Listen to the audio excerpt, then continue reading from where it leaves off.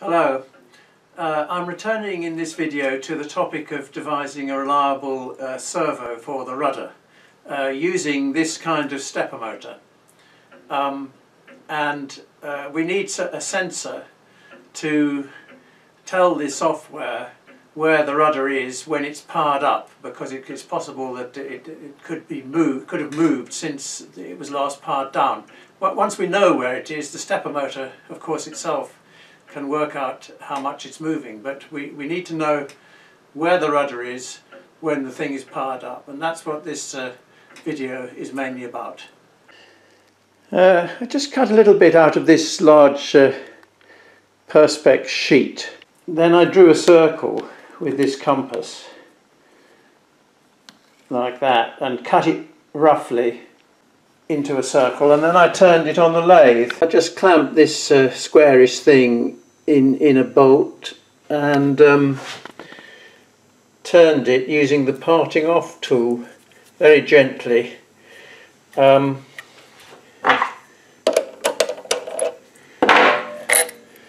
so now we've got a circular piece of Perspex.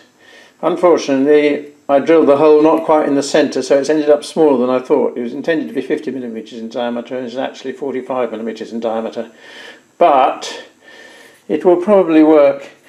So then I'm going to fit it on this uh, stepper motor and use this um, opto uh, interrupter switch to give uh, information about uh, where the rudder is, or basically to stop this stepper motor going too far. I'm going to limit it to plus or minus 90 degrees using this. So this opto interrupter switch is um, infrared sensitive. This uh, opto interrupter is an H21A1 combination of uh, infrared emitting LED and a phototransistor. It only requires a couple of resistors uh, to uh, produce a, a logic level, um, a 5 volt logic level out of it. Um, and I've chosen it because it has quite a deep slot here, which will allow me to use it to sense two different concentric circles, uh, as you'll see uh, in due course. So what I've got to do is paint this black, fit it in there. Actually I need two switches uh, to give me a limit on plus 90 and minus 90 movement. So this is just a first off experiment. I'm going to paint that now. Um, watch the meter up there.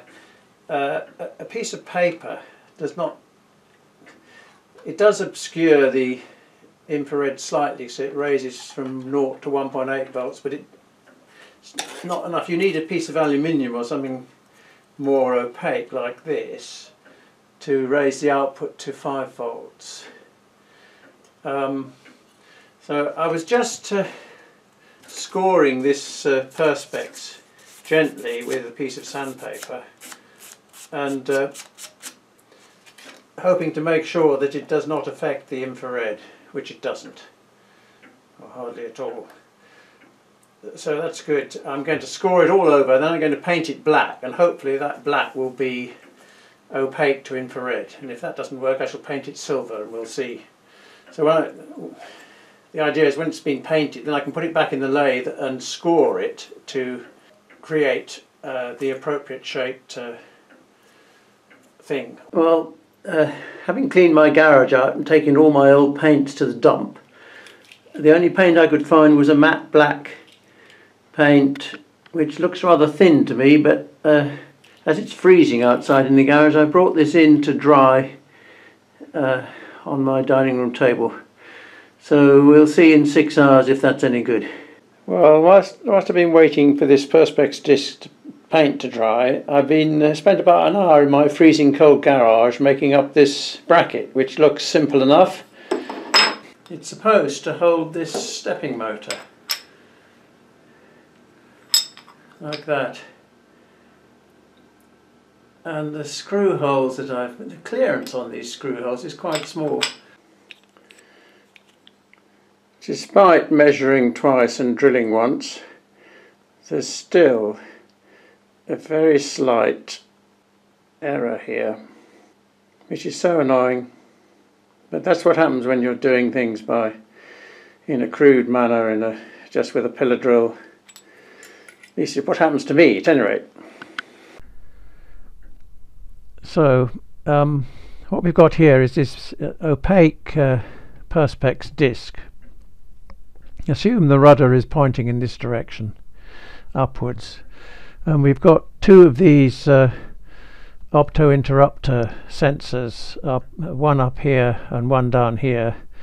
This one uh, senses this outer arc and this one is pushed in a bit more and senses this inner arc. So uh, at the moment the rudder is pointing uh, straight ahead, let's say, or straight astern, and I want to detect when it is more than 70 degrees from that position. So um,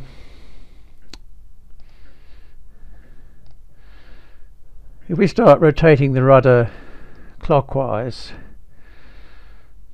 that's 45 degrees. Neither of the sensors are engaged at this point, but when it gets to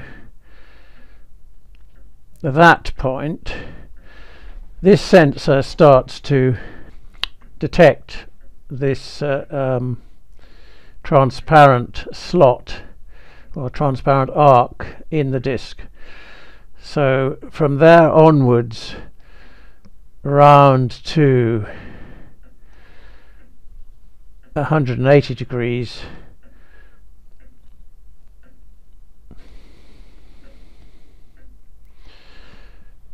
this clockwise sensor will be on. Going back the other way,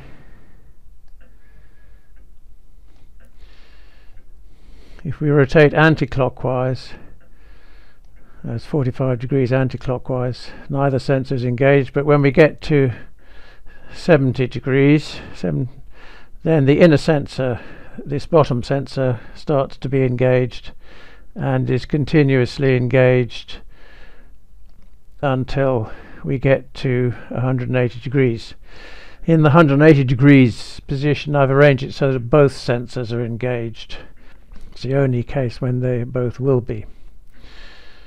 So that's the technique that I was planning to use to tell the electronics or tell the software when the rudder is within a reasonable distance of where it should be uh, and also to deduce which direction you should move the stepper motor to get it back uh, if it is if it is uh, out of the allowed range which direction to move in order to get it back into the allowed range without actually going through the bottom point which is uh, uh, a no-no because uh, the ship's in the way there.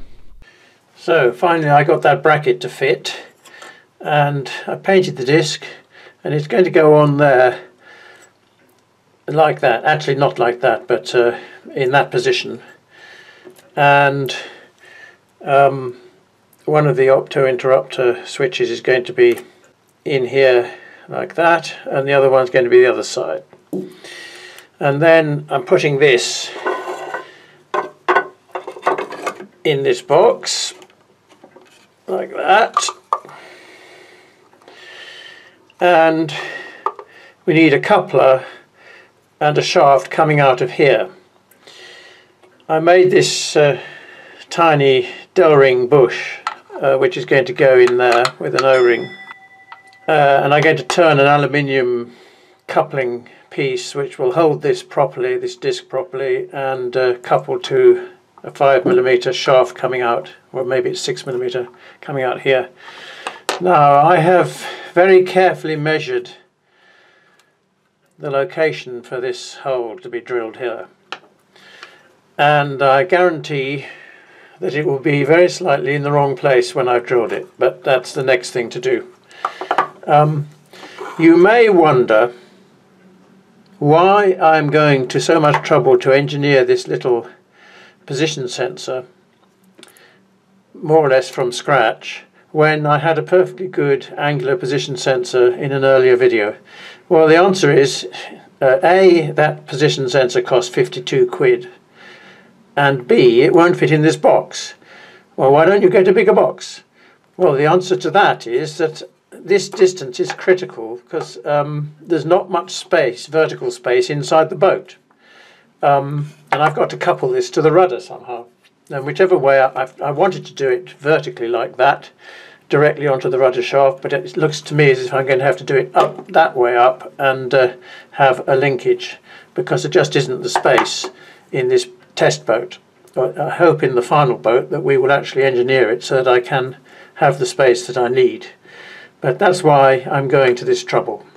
So what I'm going to do now is uh, put this disc back in the lathe and use it to score the arcs that I showed you. That's probably going to be tricky and may well turn out to be problematic.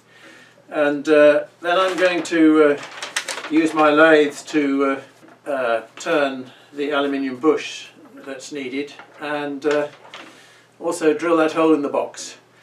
Um, and uh, we'll come back in part two when I've done all those things. I'm sorry that uh, this video is a bit of a work in progress rather than I have achieved something, but uh, the point of these videos is mainly to keep the other members of Team Joker informed as to what I'm doing, and uh, you'll just have to put up with that. Thanks for watching.